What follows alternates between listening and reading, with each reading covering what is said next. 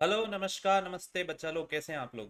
सो so, किस किस को ऐसा लगता है कि सर मैं आरआरबी जेई बन जाऊँगा तो मुझे बंगला मिलेगा गाड़ी मिलेगी एक्सेट्रा एक्सेट्रा एक्सेट्रा तो कोई टैग लाइन की तरह मैं इसको यूज़ नहीं करना चाहता हूँ बट आज अपन लोग एक इंपॉर्टेंट चीज़ पे बात करना चाहते हैं जहाँ पे मैं आप लोगों को बताना चाहूँगा कि आप लोगों के आर आर बी जेई बनने के बाद आप लोगों की सैलरी क्या रहेगी और आप लोगों के आर आर बी जेई जो है जो पिछले तीन या साल से जॉब कर रहे हैं तो उनकी सैलरी इंक्रीज होके कितनी हुई है?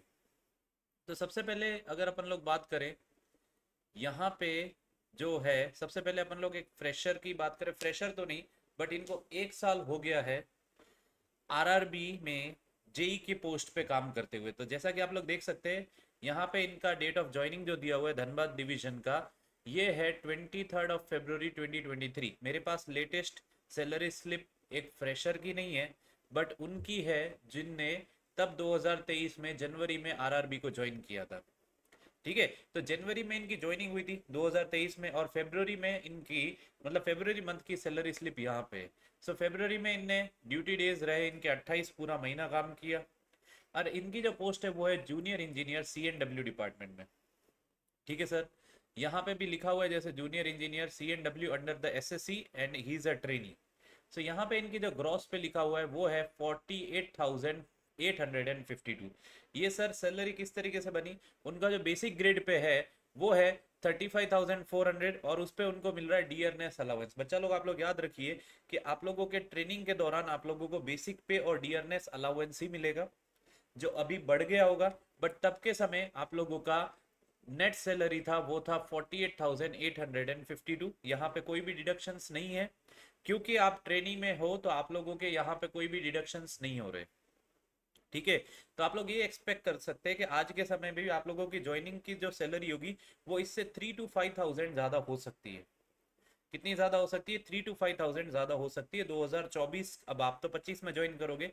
पर फ़ायदा ये रहेगा कि जब आप अपनी ट्रेनिंग पूरी करोगे तो 2026 में आप लोगों का नेक्स्ट पे कमीशन लागू हो जाएगा।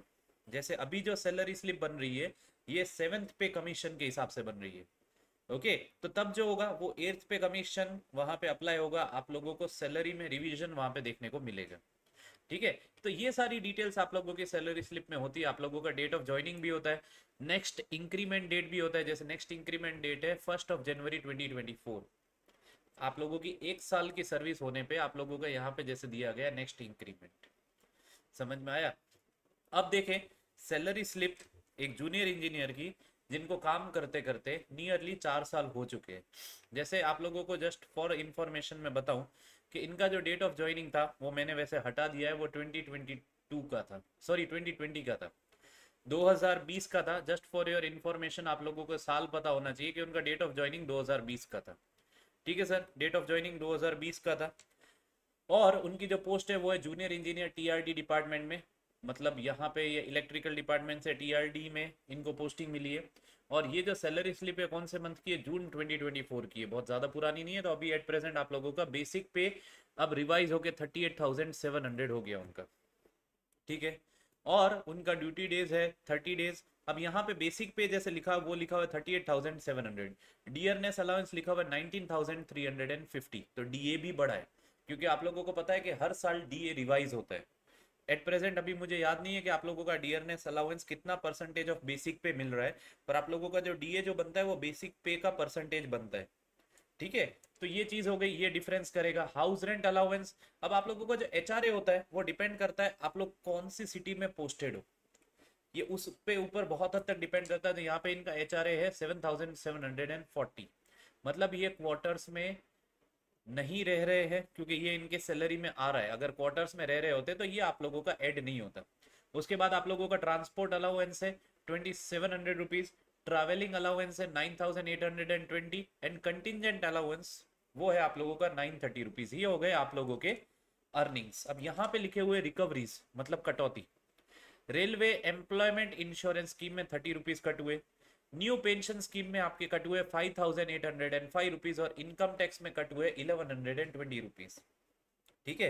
तो यहाँ पे आप लोगों का ग्रॉस पे हुआ था seventy nine thousand two hundred and forty and net pay मतलब आपके जो अकाउंट में आएँगे वो आएँगे seventy two thousand two hundred and eighty five six thousand nine hundred fifty five rupees मतलब औसतन सात हज़ार रुपये रिकवरी है।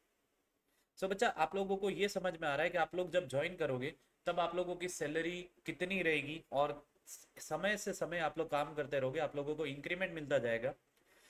हो सकता है चार साल पाँच साल होने के बाद आप लोग कोई डिपार्टमेंटल एग्जामिनेशन दे के जूनियर इंजीनियर से प्रमोट हो जाए सीनियर सेक्शन इंजीनियर के तौर पे तो आप लोगों का फिर पे ग्रेड ही रिवाइज हो जाएगा। सो so, ये चीज़ें आप लोगों को थोड़ा हद तक आइडिया भी देती है कि आप लोगों को ये समझना है कि एक छोटी सी बात यह है कि गवर्नमेंट में आने के बाद आप लोगों को ये नहीं समझना है कि हमारी सैलरी बहुत ज़्यादा बढ़ जाएगी। पर आप लोगों के लाइफ में एक स्टेबिलिटी मिलेगी जॉब सिक्योरिटी मिलेगी प्लस आप लोगों को fear of getting you can से रिमूव फ्रॉम द सर्विस निकल जाएगा। लाइफ को स्टेबिलिटी चाहिए। लाइफ सेट हो जाना इज़ अ रॉन्ग वर्ड आप लोग ये मान के चलिए लाइफ में स्टेबिलिटी चाहिए सेट नहीं चाहिए अपने को। लाइफ सेट करना आप लोगों को पाँच साल, दस साल लग जाएँगे। काम करते करते तब आप लोगों की लाइफ सेट होगी। जीवन में खुद का घर बनाना बहुत समय लेता है, खुद की गाड़ी लेना बहुत समय लेता है। हाँ ये है कि आप लोगों को बहुत सारे बेनिफिट्स मिल सकते हैं। आप लोगों को कुछ बहुत कम इंटरेस्ट रेट पे लोन्स मिल सकते हैं। आप लोगों को गवर्नमेंट में होने की वजह से जो नेशनलाइज बैंक है, वो बहुत ईजी प्रोसेस के साथ लोन देने को तैयार होंगी। इंटरेस्ट रेट भी थोड़ा कम होता जाएगा। आप लोगों को बहुत सारे बेनिफिट्स रेलवेज की तरफ़ से भी मिलेंगे हर साल। जैसे आप लोगों को एक चीज़ बताऊँ, हर साल दिवाली के समय सारे एम्प्लॉयज़ को शायद एटीन थाउज़ेंड रुपीज़ दिए जाते हैं। वो आप लोगों के रेलवेज वाले आप लोगों को प्रोवाइड करते हैं आप लोगों के दिवाली के गिफ्ट के तौर पे। तो ये छोटी छोटी चीज़ें हैं। अपन लोगों को मोटिवेट भी करती है, पर आप लोगों को ये सब चीज़ों को साइड में रख के प्रिपरेशन करना है, क्योंकि अपना गोल है सिलेक्ट होके जॉब लेना, ना कि सैलरी देख के जॉब लेना। अगर सैलरी देख के जॉब लेनी होती तो फिर आईएएस तो कुछ देखते ही नहीं फिर। समझ में आया? सो बच्चा लोग मोटिवेट होइए, पर गलत चीज़ से मोटिवेट ना होइए। समझ में आया? सो आई होप आप लोगों को इस चीज़ से थोड़ा आइडिया आया होगा। बच्चा विद दिस कुछ अनाउंसमेंट है आप लोगों के लिए अन अकेडमी ने ऑलरेडी आप लोगों के लिए लॉन्च कर दिया है the power prep test series general awareness general intelligence and reasoning general science and mathematics के 100 मार्क्स 100 क्वेश्चन 18 सितंबर सुबह नौ बजे 90 मिनट का you can enrol for the same description में इसकी लिंक दी हुई है। एग्जैक्ट आरआरबी के एग्ज़ाम स्टाइल का फील मिलने वाला है। And you can enrol for the S S C JE subscription using my code Vaidya fifty description में दी गई लिंक का ट्वेंटी फोर मंथ्स का सब्सक्रिप्शन आप लोग एनरोल कर सकते हो seven triple nine twelve months का subscription at five triple nine and six months का subscription at four triple nine R R B JE का सब्सक्रिप्शन भी आप लोग एनरोल कर सकते हो. R R B JE twelve months का subscription at forty five hundred sir six months का subscription at thirty three hundred and three months का subscription at two thousand four hundred and seventy five is this clear बच्चे?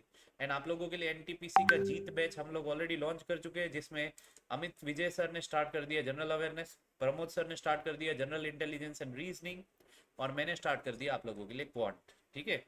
And बच्चा the for the toppers batch of SSC JE Amit Vijay sir has already started India and world geography Yogesh sir ने start कर दिया metal cutting and आप लोग अगले अन top ranker हो सकते हो बिकॉज़ हमारा काम है आप लोगों को मोस्ट अफोर्डेबल प्राइस पे क्वालिटी कंटेंट प्रोवाइड करना। मोस्ट अफोर्डेबल प्राइस पे क्वालिटी कंटेंट प्रोवाइड करना। इज़ इज़ क्लियर बच्चा? सो आई होप आप लोगों के लिए ये वीडियो थोड़ा मोटिवेटिंग भी रहेगा और आप लोगों को गलत चीज़ों से भ्रमित नहीं होने देगा। समझ में? मेरा अल्टीमेट गोल जीवन का हमेशा रहता है कि आप लोगों को सच्चाई से मैं सामना कराऊं। बहुत लोग जो बच्चे मुझे जानते हैं, मेरा काम है आप लोगों को सच्चाई बताना। गलत चीज़ों के लिए मैं वीडियोस नहीं बनाता। ओके थैंक यू एवरीवन जय हिंद जय भारत एंड वंदे मातरम